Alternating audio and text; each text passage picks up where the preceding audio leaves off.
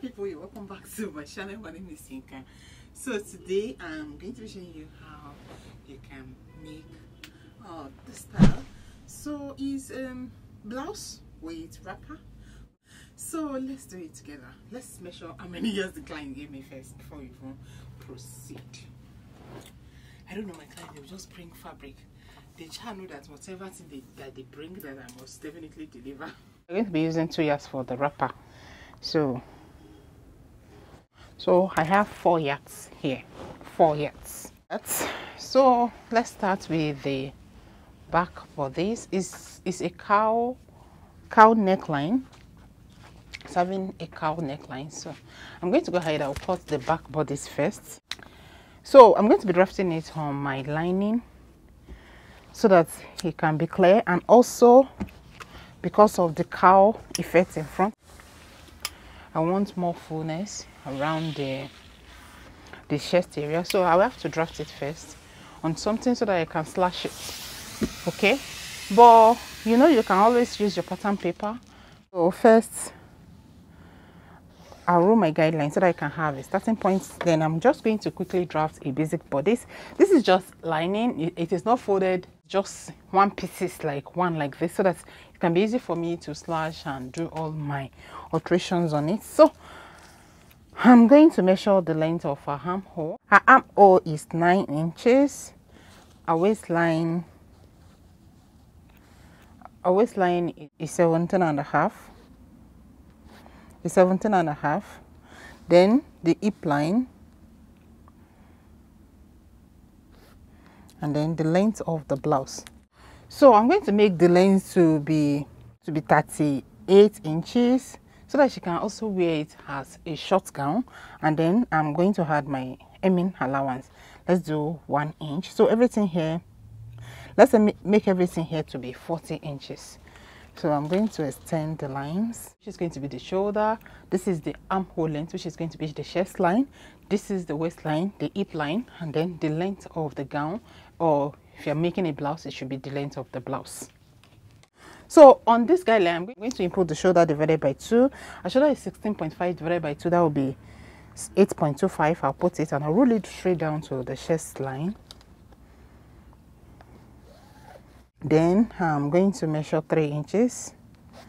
And measure 1 inch here so that i can slant the shoulder. Then my seam allowance then I'll finish this armhole area by placing my ruler here just like this can you see so the next thing you do is to put your measurement so our bust circumference measurement is 42 divided by 4 that will be 10.5 you put the 10.5 you're going to add ease of half inch and then you put your seam allowance then I'll come to the waistline. I'm going to put the waist circumference divided by 4. Our waist circumference is, is 33 divided by 4. That will be 8.25. I'll put it. I'll put ease of half inch and then one and a half seam allowance. So I'll come to the hip line. I'll put the hip measurement divided by 4. Our hip is 48 inches divided by 4. That will be 12. Ease of half inch and then my seam allowance. Okay. Then I'll just just really straight down just a free gown okay so whatever i have on the hip line i'll just put it at the hemline okay so it's just a straight gown.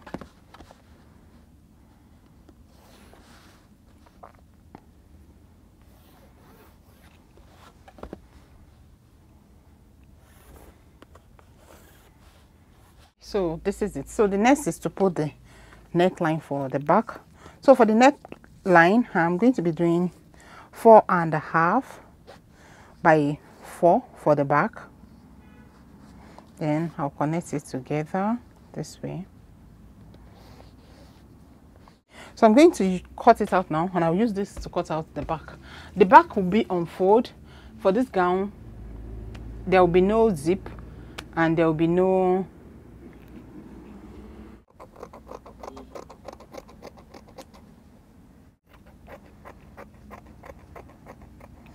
okay before i cut it out let's because since we are going to be using this to cut out the front let's put the front armhole so for the front armhole you locate the mid armhole you come in by half like this. You connect it back to the shoulder tip this way and then you finish it up like this again.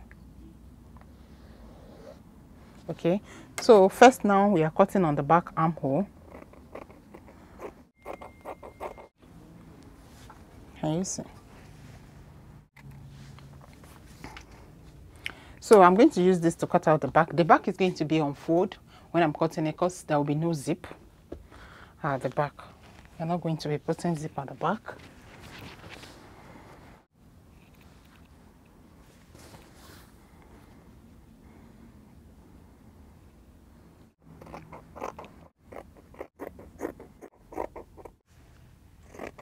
I've out the back. So this is the back. I'll keep it aside. So for the front um it's going to be a cowl it's going to be a cowl neckline. So don't forget to first trace out the the front armhole from it before you start your slash okay? From the shoulder I'll locate our underbust. Our underbust is 7 our underbust is 16 so I'll locate the 16 then from this 16 I'm just going to draw my slash line okay? So I'm, I'm slashing it to where our measurement is here at the side seam okay? So it's just going to be like this. So I'm just going to slash here. Slash here this way then I'm going to just reverse it like this. I'm, I'm going to place this now on this other fabric. Slash, slash line start from ensure it's on a straight line from here all the way down.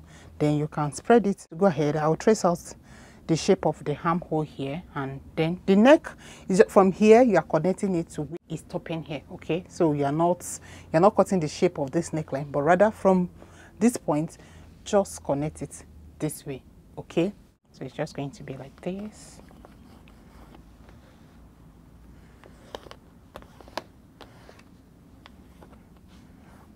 Then you cut every other thing exactly the same way. You can pin this place down so that it can relax okay?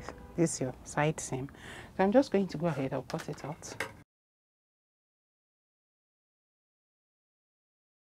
After cutting it out this is the shape that you have. It's very important for you to note. Here from where I spread it you can see the distance I have 10 inches 10 inches. The more you spread it the more open it will be here. It's just going to open like it can open if you open it like maybe like 14 inches it's going to open to like your navel area. So it depends on on how deep you want the neckline to be okay? So if you don't want it to open too much you will not spread it too much. But if you want it to open very well you open it too much. So for mine now mine i open it i open mine by 10 inches. 10 inches all right? It's open by 10 inches then i cut it out. It's as simple as that okay? So you can decide to open it maybe by three by by by by eight by five depends on what you want okay? But this particular style it is open by 10 inches. Then you trace out exactly the same shape everything here okay? So just let me let you know. So the next thing you do is just to make a mark where the shoulder is stopping. So you are going to take this to the weaving machine. You weave from here all around and back to this other side. So should i open it for you guys? So if you open it up you have something like this okay? This is the shape that you have. This is the cowl part. So it's just going to be like this okay? Just going to be like this on your body. So if you open it more it's going to reach like here which is going to be like this. But you know this one now it's like around that same 10 inches. So it depends on how low you want the neckline to be all right i'm going to go ahead now i'll cut the sleeve the wrapper is going to be two years so i think at this stage i will remove the wrapper before anything else. The wrapper is going to be two yards. After removing the wrapper, the fabric is no longer enough to cut the sleeve so i'm using this duchess satin for the hand so you can decide to use the same material for the belt but i'm just going to be using this same uh, satin. Okay so this is my belt. I've cut out my belt. The width of my belt the width is five and a half inches and then the length is 60 inches. The length of of the satin okay? All right so we are going to go ahead we're going to sew now. I'm going to work on the body now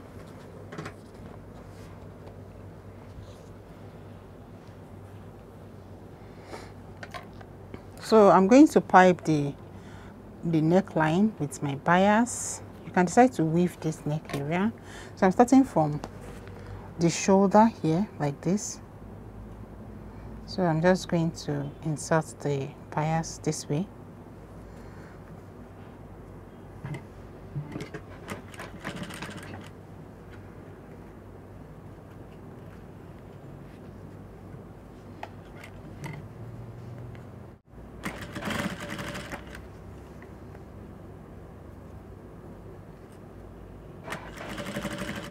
so I'm going to finish the neck line at the back also with the bias.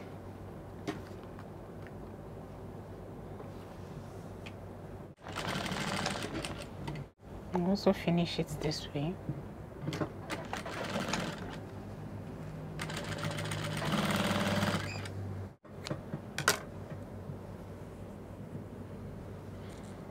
Okay so this is the back now. I've finished the neckline. So the next thing is just to join front and back together uh, the neck at the shoulder. So the next is just to join front and back together at the shoulder. So match them together right side to right side like this. Okay then you take to the machine. You join the shoulders together like this with half inch. And also here with half inch okay so I'll go ahead I'll join together at the shoulder and then I'll fix the sleeve.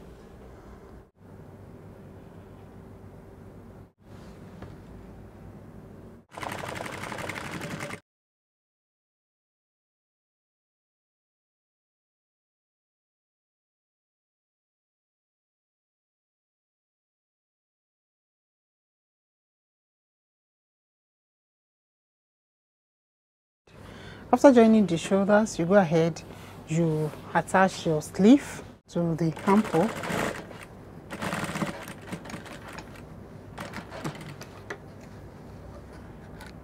The next thing I'm going to do now is just to close the side of my dress, starting from the sleeve all the way down to the hemline. So I'm going to close the side with the same seam allowance I added.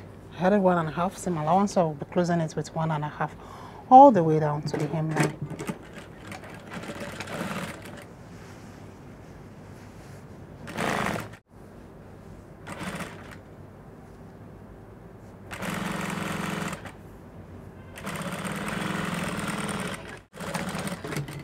the next thing is just to hem the is just to hem the bottom part of your dress.